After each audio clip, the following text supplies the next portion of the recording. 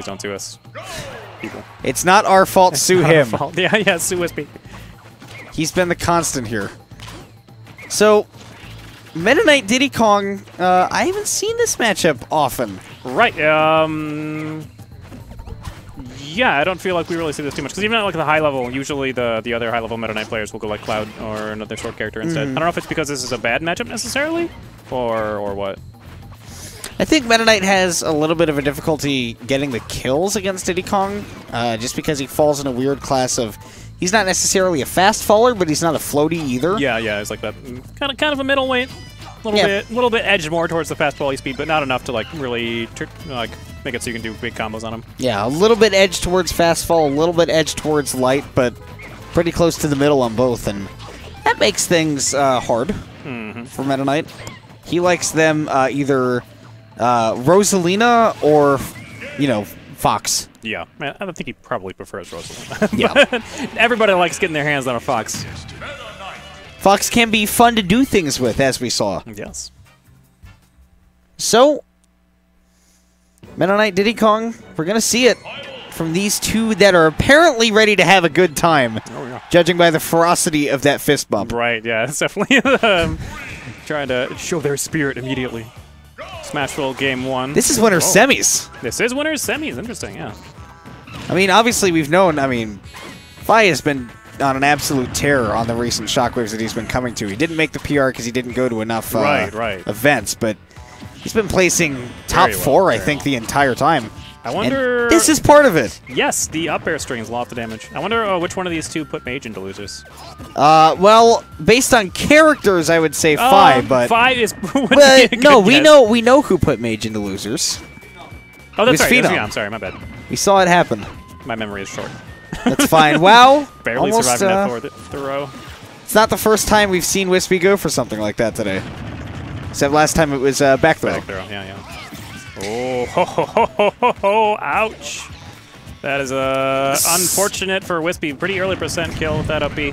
After playing Brawl, I say to myself, well, at least Meta Knight's up air isn't what it was. But then that Uh, happens, then I go, right. but it's close. It's really close. it's really close. It's not quite like up air into tornado strings, taking people off the top, like regardless of your character. Which like, I didn't know that's what you were supposed to do. Which yes, is actually where you're supposed to. Up air to up B is still like really good, but it usually will only kill people if they like if they DI the up B improperly. Right. Um, which will Whereas happen. Tornado, you just take them. Yeah, you, tornado is just like, oh, you didn't get on my up air string, I'll kill you. Kind I'll like kill the- you. kind of like those up smashes from Kong. Whispy's been making really good usage of his smash attacks. Like, I think out of everything I've seen from him, his usage of smash attacks has actually uh, impressed me most. Weirdly, Right, that and he's also got a very good uh, eye on his movement. Yes, his movement is really clean. Um, and like Diddy Kong in general is a pretty slippy character, slippery character. Like if you've played against one that uses their rolls properly, even one that like uses their rolls like only kind of properly, it can be pretty difficult to actually punish him just because he's got like a little bit less ending life than, than most characters. You had it right. He is a Slippy character. It's actually Slippy in disguise as Monkey, Um, Slippy lost weight. Good on him. That monkey he got shorter. And got shorter. And, Oh, uh, God. Got a hat and like his lungs, his, his arms elongated. But that's just a game, anyways. Um, able to recover. Yeah, Not falling for the t- uh, the Trump setup. like I said, movement and recovery, uh, very good from Whispy. Hmm. In fact, that's what he constantly practices in hand warmers. So it uh, doesn't surprise me. I mean, obviously prone to the SD as we've seen, but also pretty good at the uh, at the recovery. Regrab is kind of dangerous against Meta Knight. Yep, but fine, not ready to punish it. Gonna cover, gonna try to cover that landing with the the banana throw Fye, stalling out with those multi double jumps from Meta Knight. You'll be glad to know I had a really good pun, and I just didn't. I'm I'm proud of you. Congratulations. Ooh! Good spacing there. Gonna Great punish that. attack. That's wow. gonna. No, Okay, okay. great DI from Whispy. Oh, he's got to be really careful with the side Bs though. Fye is just turning out punishments for him. If he does that again, he might be eating an F smash. Or an up smash Or like up that. smash. Smashes. Death.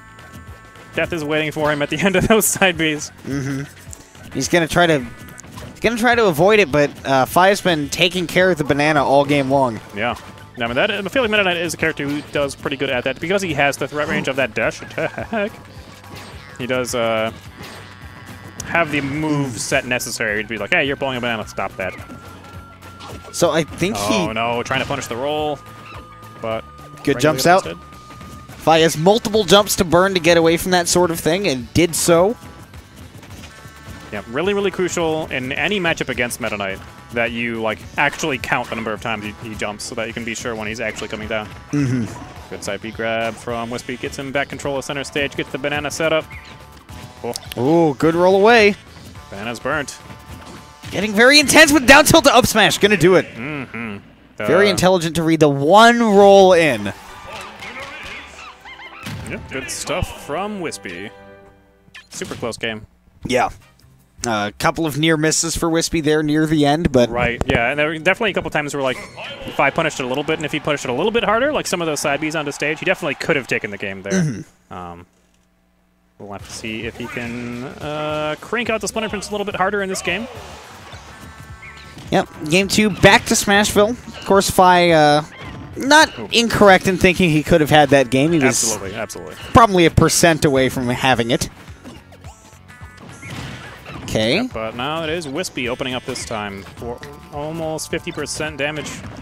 Oh, excellent punish on the banana on shield. Nice. Interesting that the rising forward air from Diddy Kong actually hits Meta Knight. Yeah. Would have expected that to like go over his little ball head. Thinking. From what I'm seeing, it looks like Whispy's just doing a much better job of keeping Fye spaced out when he's uh, in control of the stage. Definitely, yeah. Yeah, not even necessarily doing it with bananas, just like Oh, like forward airs and grabs.